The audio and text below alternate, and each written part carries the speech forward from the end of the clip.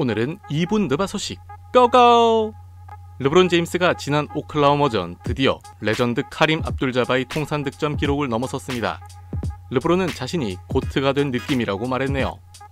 카이리 어빙은 브루클린 구단에 대해 때때로는 자신이 굉장히 respect 받고 있지 못하다고 느낀 적이 있다고 언급했습니다. 자크본 감독에 따르면 MCL 부상으로 결장 중인 케빈 듀란트가 현재 계획대로 회복 중이긴 하나 아직 복귀 일정은 알 수 없다고 언급했네요. 그리고 듀란트는 어빙의 트레이드 요청에 매우 화가 난 상태라고 하는군요. 하지만 어빙에게 화가 난 것인지 브루클린 구단에 화가 난 것인지는 알 수 없는 상황이라고 합니다. 브루클린과 듀란트는 현재도 계속 대화 중에 있으며 아직은 트레이드 데드라인 전에 듀란트를 트레이드할 계획은 없다고 하네요. 브루클린과 새크라멘토 구단은 케슬러 에드워즈 트레이드에 합의했으며 이로써 브루클린은 8 million 달러의 salary와 사치세 부담을 덜 수 있다고 합니다. 단 에드워즈 본인의 승인이 필요한 상황이라고 하네요.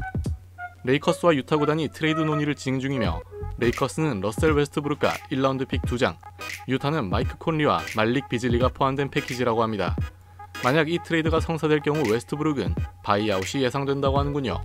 그리고 웨스트브룩이 buyout 할 경우 마이애미 구단이 그의 영입을 고려할 수도 있다고 합니다. 또한 마이애미는 드웨인 데드먼과 2라운드 pick 한 장을 보내는 대가로 샌안토니오 구단으로부터 현금을 받아오는 deal에 합의했으며 샌안토니오는 데드먼을 방출할 계획이라고 하네요. 그리고 샌안토니오는 조시 리차드슨을 보내는 대가로 만기 계약과 2라운드 pick을 얻어올 수 있는 방안을 찾고 있다고 합니다. 마이애미는 PJ 워싱턴 영입에도 관심 있네요. 자 모란트는 멤피스가 리그 최고로 미움받는 팀이라고 말했습니다. 밀워키 구단이 데릭 로즈 영입에 관심 있다고 하는군요. 캠 레디시는 트레이드 데드라인 전에 트레이드 될 것으로 예상되지만 만약 그렇지 않다면 buyout 할 수도 있다고 합니다.